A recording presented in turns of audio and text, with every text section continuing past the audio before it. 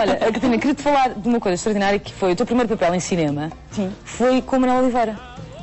Ai, não. Tu chamas a isso de papel? Sim, claro que sim. Bolas, tu entravas. Jura? Eu dei ilvas ao Vasco da Gama e tu chamas a isso de papel? Bem, temos um conceito. Eu dou umas ao Vasco da Gama. Foi Eu entrei, dei-lhe uma uva, sim. Exato, foi, Eu nem foi tudo o que eu fiz.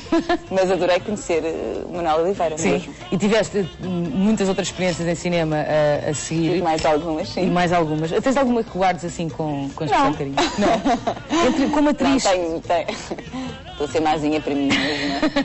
Uh, não, houve coisas que eu gostei de fazer. Gostei Sim. de fazer o Fátima. Sim. Uh, é assim, eu gosto sempre Sim. de fazer as coisas que faço, de uma maneira geral, porque eh, encontro sempre motivos de, de motivação. Não é? Encontro sempre eh, refúgios de qualquer coisa, seja nas, nas equipas, seja nos elencos.